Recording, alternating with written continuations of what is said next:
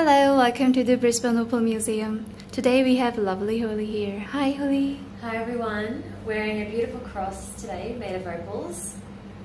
Nice creamy colours, um, a classic piece, very age appropriate across um, most ages I would say, from the young adult towards um, your grandma or great grandma towards that end as well, depending on their style. And it's got a beautiful glow to it as well, so it still looks very classic opal.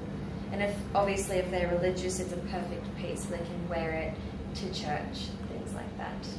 Don't forget that we have that worldwide express shipping two to five business days. And if you're the person you're buying for change their minds, we do offer full refunds as well. So all good.